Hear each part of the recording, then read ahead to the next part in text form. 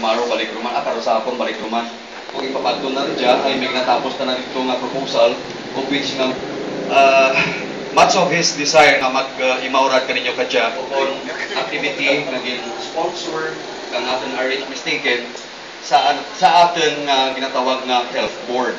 Tingad nga Riyan sa health board meeting, gina-identify nanda kung ano pa ang mga kakulangan, kung ano ang mga possible activities nga dapat nga uh, himuon kang uh, uh, rural health unit, more likely uh, paagi sa board ni So, we are thanking very much kang inyong presensya tangad nga ridya kamo. I hope nga ang diyang advocacy hindi lang magtinir dyan sa bilog na adlaw ninyo nga pag uh, iririmaw ka dyan uh, adlaw, no? Kung uh, sa masunod pa nga mga binulan o kung all throughout the year dyan mga klase ng mga activity.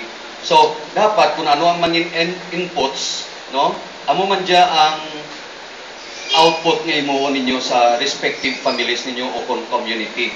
Same so, sa radyo natin, that's why I have to deliver kung ano, uh, what will transpire in this activity ngayon, karuman kay doktora, para at least kung ano ang mga naistoryahan ka kung ano ang possible activities nga pagahimuon, amo man ra ang ipalapnag natin sa atin uh, katawan sa bilog nga kulasi, no?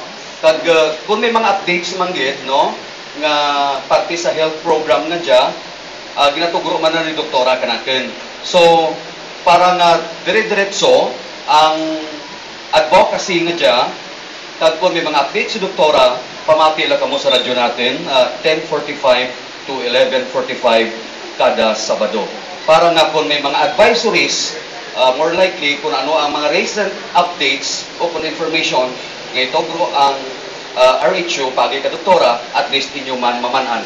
Halimbawa karon kung in kaso nga kung ano ang mga inputs ninyo kadya, kung may mga follow-up pa, at least uh, paagi sa radyo natin program, pamanan ninyo kung may mga another announcement si doktora. So with that, no, sa ngaran lang kang uh, aton na uh, halangdan kag aksyon agad nga tatay kang Germanwa tungod nga sa radya sa trust ang pagtugro na na kang uh, uh, importansya bilang basic needs natin ang tawag nga health.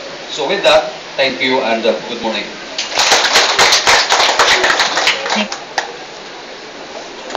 Ngay gatugro ni Mrs. Rodora Kibite. Hello.